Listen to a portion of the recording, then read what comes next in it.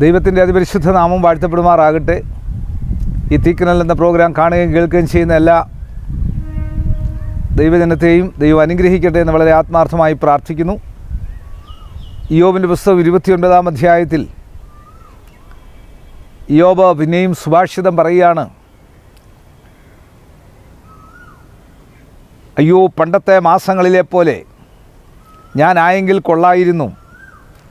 ദൈവത്തിന്റെ എന്റെ കൂടാരത്തിന് ദൈവത്തിന്റെ സഖ്യത ഉണ്ടായിരിക്കുകയും എന്റെ ശുഭകാലത്തിലെ പോലെ ഞാനായെങ്കിൽ കൊള്ളായിരുന്നു.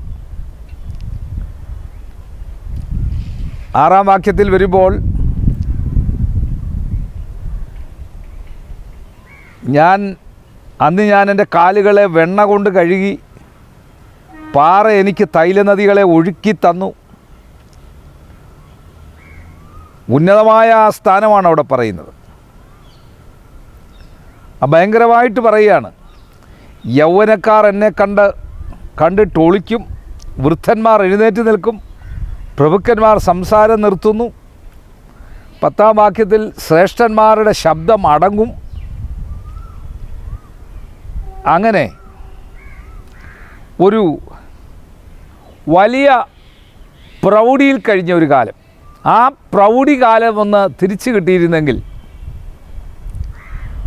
അതുകൊണ്ട് പ്രൗഢിയിൽ കഴിയുന്നവർ ഓർത്തോണം എപ്പോഴാണ് ഈ പ്രൗഢി പോകുന്നതെന്ന് അറിയത്തില്ല. ചിലപ്പം ദൈവം തന്നെ പ്രൗഢി കളയും നമ്മളെ കൂടുതൽ ഇരട്ടി അനുഗ്രഹിക്കാനായിട്ട്. അതുകൊണ്ട് പ്രൗഢിയിൽ കഴിയുമ്പോൾ അന്നേരമാണ് യോബ് ഇതൊക്കെ ഓർക്കുന്നത്. യോബിനെ ഒന്ന് ഓർപ്പിക്കാനൂടാ നമ്മുടെ പ്രൗഢി പണ്ടത്തെ പോലെയുള്ള പ്രൗഢി ഒന്ന് ഓർപ്പിക്കാനാണ്. ഗാഡ്സ് നാലാം വാക്യത്തിൽ my prime. God's intimate friendship. Job recalling the happiness of those days. Content in his fellowship with God. ദൈവത്തോടുള്ള വലിയ സഹവർത്തിത്വമാണ്. അതുകൊണ്ടാണ് ദൈവത്തിന്റെ എന്റെ കൂടാരത്തിന് ദൈവത്തിന്റെ സഖ്യത. എന്റെ മക്കൾ എന്റെ ചുറ്റുമിരിക്കുന്നു.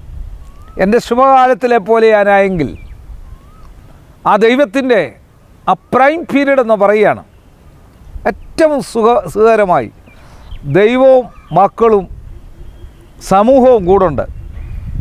യൗവനക്കാരെ പിള്ളേർ സെറ്റിന് കണ്ട പേടിയാണ് വൃദ്ധന്മാർ പ്രായമുള്ളവർ എഴുന്നേറ്റ് നിൽക്കും. പ്രഭുക്കന്മാർ ഉന്നതന്മാർ സംസാരം നിർത്തും മിണ്ടുകല നിശ്ചലമാകും ശ്രേഷ്ഠന്മാരുടെ ശബ്ദം അടങ്ങും. ആ യോബ് എന്ന് ഓർക്കുവാൻ. The gate of the city business and judicial matters ആ ഏഴാം വാക്യത്തിൽ. ഞാൻ പുറപ്പെട്ട് പട്ടണങ്ങളിലെ പതിവാതിക്കൽ ചെന്ന് വിശാല സ്ഥലത്തിന്റെ ഇരിപ്പിടം വയ്ക്കുമ്പോൾ ഞാൻ എവിടെയെങ്കിലും ചെന്നാൽ ഞാനാണ് അവിടുത്തെ ടോപ്പ് അതുപോലെ ദൈവം എന്നെ അനുഗ്രഹിച്ചിരുന്നു. ആ ദൈവത്തിന്റെ സന്നിധിയിൽ ലഭിച്ചതായിട്ടുള്ള വലിയ പദവികളാണ് ഇവിടെ ജോബ് ഓർക്കുന്നത്.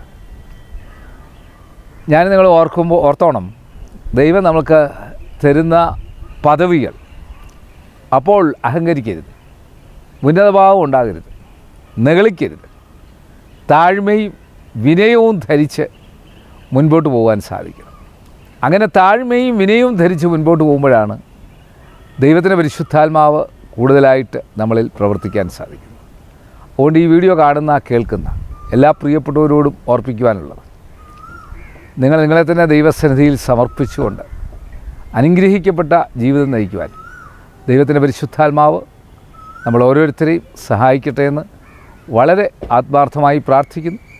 കണ്ണുകളടയ്ക്കാം പ്രാർത്ഥിക്കാം.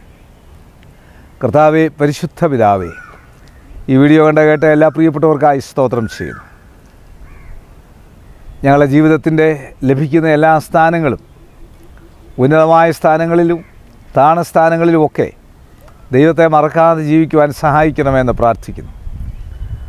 ദൈവമേ യോബ് തന്റെ പഴയ കാലത്തെ ഒന്ന് റീകളക്റ്റ് ചെയ്യുവാൻ ദൈവത്തിന്റെ സഖ്യതയുടെ ആ നല്ല കാലത്തെ ഒന്ന് റീകളക്റ്റ് ചെയ്യുവാൻ യോബിനെ പരീക്ഷണങ്ങളിലൂടെ കടത്തിവിട്ട പോലെ. ഞങ്ങളുടെ ജീവിതത്തിന്റെ പരീക്ഷണ ഘട്ടങ്ങളിൽ ഞങ്ങൾ പലപ്പോഴും ഞങ്ങൾ പഴയ നല്ല കാലത്തെ ഓർക്കാറുണ്ടാവും. എന്നാൽ അത് അതിനെ ഓർത്ത് വിലപിക്കാതെ ദൈവമാണ് കാര്യങ്ങൾ നടത്തുന്നതെന്ന് മനസ്സിലാക്കി മുൻപോട്ട് പോകാൻ സഹായിക്കുന്നത് ഈ വീഡിയോ കണ്ട കേട്ട എല്ലാ പ്രിയപ്പെട്ടവരെയും അനുഗ്രഹിച്ചായിട്ട് ഞങ്ങളുടെ മുഖ്യമന്ത്രി ഗവർണർ പ്രധാനമന്ത്രി ലോകരാജ്യങ്ങളിലെ പ്രസിഡന്റുമാർ പ്രധാനമന്ത്രിമാർ വിവിധ സംസ്ഥാനങ്ങളിലെ മുഖ്യമന്ത്രിമാർ എം പിമാർ എം എൽ എമാർ W H O health department revenue department police department അർത്ഥ ഗവൺമെന്റ് സ്ഥാപനങ്ങൾ ആശുപത്രികൾ ഡോക്ടേഴ്സ് നഴ്സസ് മറ്റ് സ്റ്റാഫങ്ങൾ മരുന്നുകൾ മരുന്ന് കമ്പനിക്കാർ മരുന്ന് കച്ചവടക്കാർ മരുന്ന് വിതരണക്കാർ